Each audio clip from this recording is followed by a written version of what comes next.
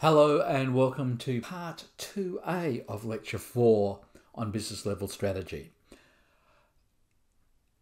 We're dealing with three objectives together in these parts part 2A, part 2B, part 2C.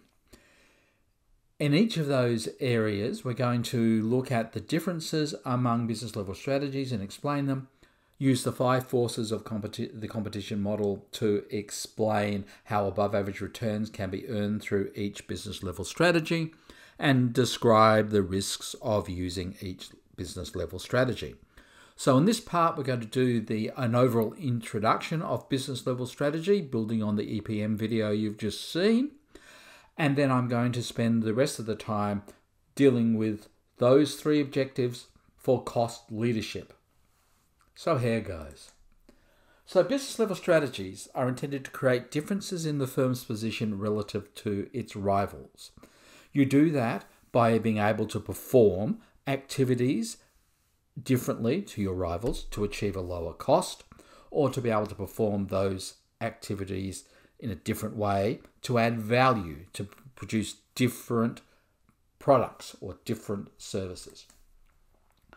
To be successful in a chosen strategy, you have to integrate your primary and support activities, the value chain we identified last week when we were linking the value chain to how you add value, and integrate integration of primary and support activities into an activity system. So when we now I know that sounds a bit esoteric, so I'm going to actually explain them in more depth. Though you should have a good idea of the direction we're going in if you've watched the EPM video as asked. There are effectively five business level strategies. The five business level strategies are cost leadership, differentiation, focused cost leadership, focused differentiation, and integrated cost leadership differentiation. Now, even though there are five outcomes there, five business level strategies, sometimes they're referred to as three generic strategies that produce these five business level strategies. So sometimes the terms are used interchangeable, interchangeably. Just to make it even more complex, in the olden days, you only the first four mattered, but we're now in the present time, so we'll talk about integration of cost leadership and differentiation as well. Each business strategy involves choosing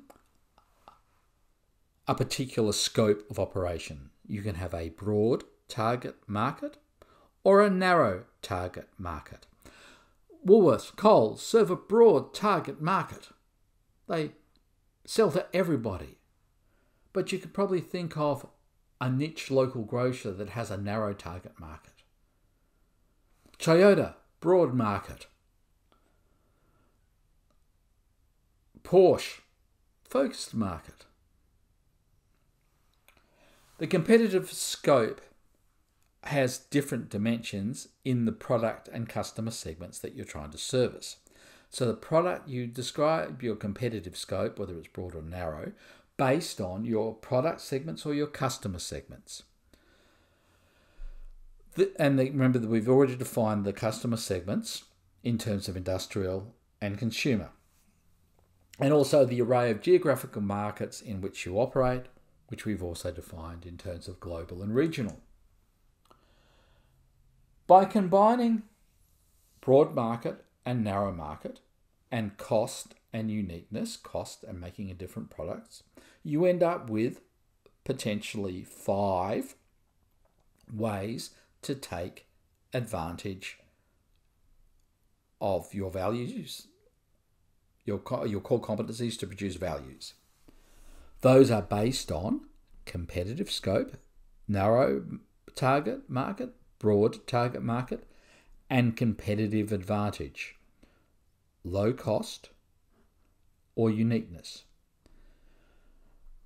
In the past, this one in the middle you were supposed to not be in. That's called stuck in the middle. But now, because of modern manufacturing techniques and new ways of considering the supply chain, you can integrate both cost leadership and differentiation at the same time.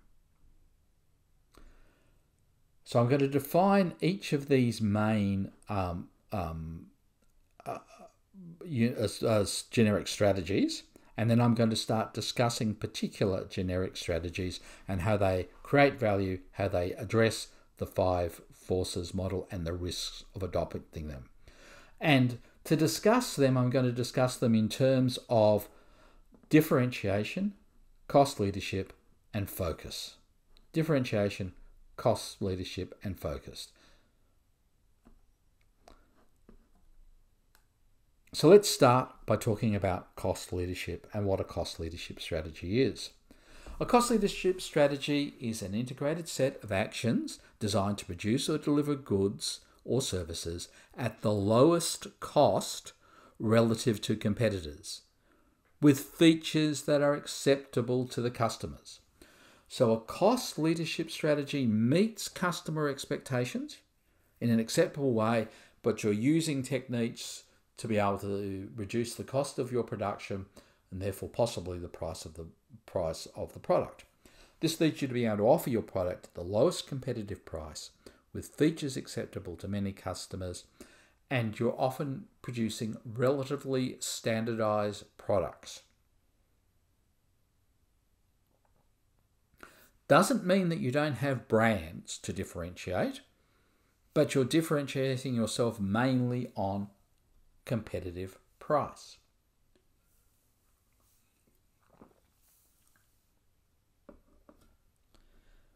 In the value chain, we've already introduced the concept of the value chain. You need to make a series of decisions about firm infrastructure, human resource management, technology, procurement, logistics, operations, outbound logistics, marketing, sales, and service, focusing on achieving cost leadership.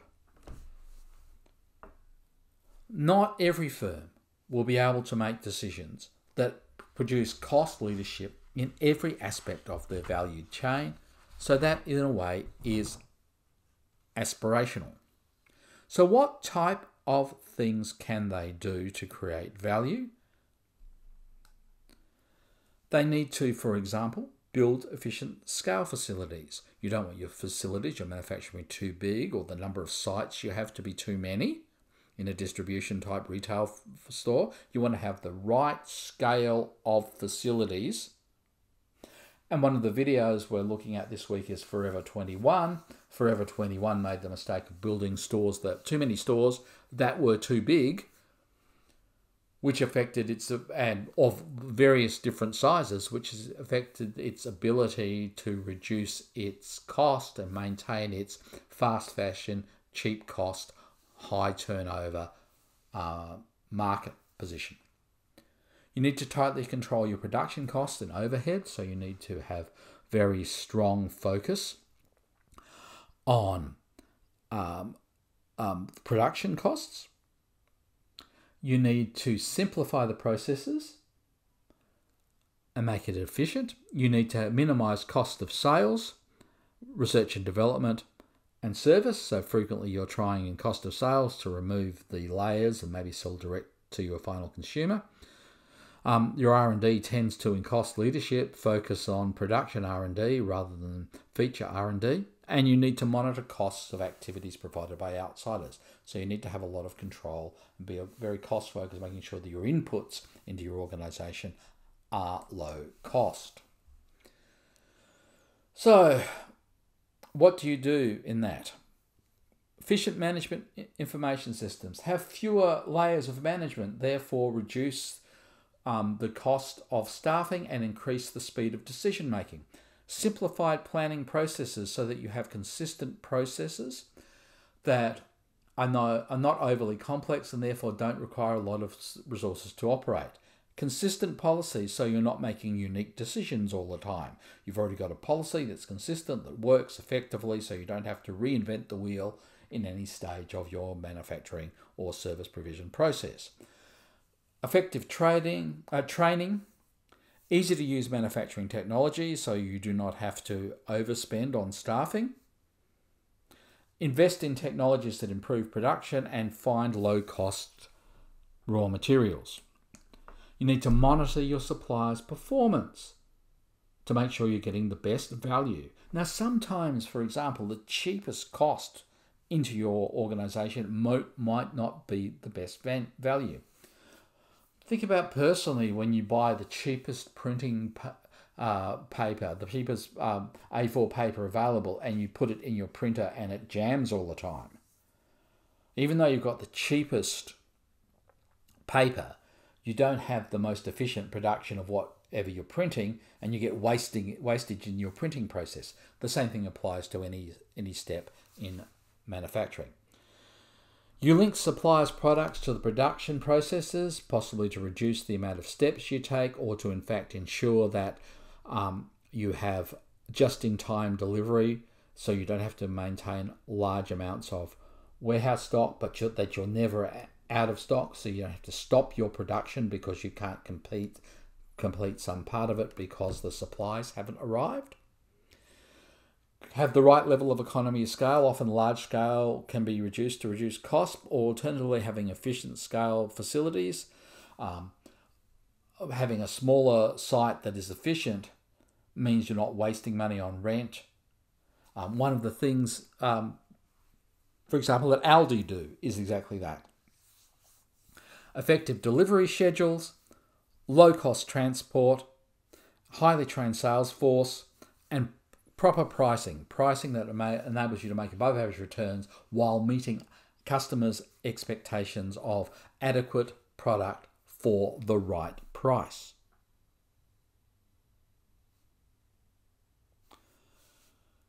Aldi, Costco probably fit a cost leadership strategy. Some would say that Aldi is a cost focused um, strategy, but it is more likely to be a cost leadership in the way it operates in Australia. So we'll use that as a cost leadership example. Aldi and Costco are two examples that I've provided as video cases for you. How do you use cost leadership to address the five forces? Well, the first force is rivalry among competitors. If you have an advantageous position in your cost, that will make it less likely that a rival will attempt to compete with you on the basis of price because they know you can reduce their price to match their production costs or their new sales price. And the lack of price competition therefore leads to you making greater profits. If you have low cost in your operation, that better enables you to mitigate the power of suppliers because you're able to absorb the cost because of your low cost position of any price increases. And you're also, if you have the right scale, able to make large purchases, reducing the chance that suppliers will use their power over you because you are a large purchaser, therefore, you have buyer power. You mitigate the bargaining power of buyers because you're driving prices below the competitors. That means that competitors may exit the marketplace, which reduces the choices of the potential buyers and brings buyers back to your firm. It acts as a barrier to entrance because you're already functioning at low cost. And if you're using large scale to be co- competitive, and that's the only way to be cost competitive, a firm that enters the market needs to be able to enter in large scale. Similarly, you've already moved down the learning curve because you've learned all these processes and uh, invested R&D in every stage of your production to reduce your cost. Um, so you've moved down the learning curve they would have to move down the learning curve to match you. When you're moving down the learning curve, initially it's a higher cost that acts and therefore they'd be entering at a higher cost because they don't know as much about the market as you do. And if you've got products that meet the demand, the basic needs of the customers, and they are customers that are looking for cost leadership, that you're well positioned to protect yourself against um, substitute products. You can also buy patents of potential substitute, lower your price to maintain a value position, or make investments to be the first to create those substitute products. And you see firms that are multi branded cost leadership. And you think, well, I've got choice here in the supermarket or I've got choice somewhere else. But in reality, it's the same company making multiple brands. Colgate Palmolive do that all the time in in their um, clothes powder, their liquid laundry detergent, and their powdered based laundry detergent.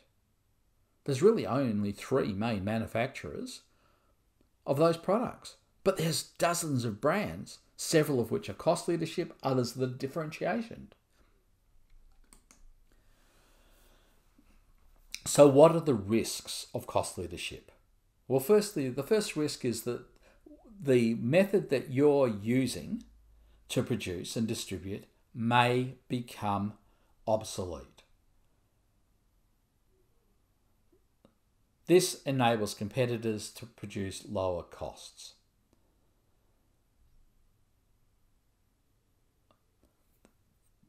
Travel agents would be an example. Flight Centre would be an example of that. Webjet is an example of that. Under significant pressure because the method of delivering is no longer the is is is not the uh, method that might be needed. If you focus on cost reductions, you may end up um, getting to the point where you're no longer meeting the minimum minimum needs, and people are encouraged to get a differentiated product which they perceive to be better. So they may start purchasing on differentiation. And while you have a set of core competencies that are producing cost leadership, other competitors may learn or have different core competencies that produce this uh, a better outcome. So they outcost lead you. Hey, let's do an olden day example from when we all had phone books. You remember phone books? Phone books used to be mass printed devices.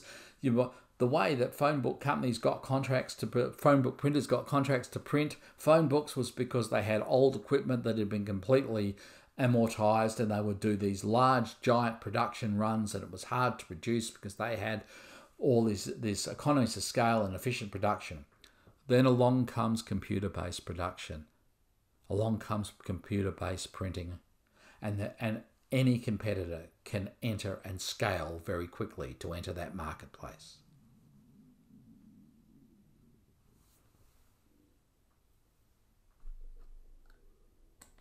Okay, so that's the end of part 2A. What I'd like you to do is watch the video on Costco, watch the video on Aldi.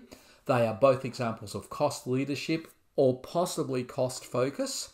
And when we come back, we'll look at our next um, business level strategy, which is differentiation.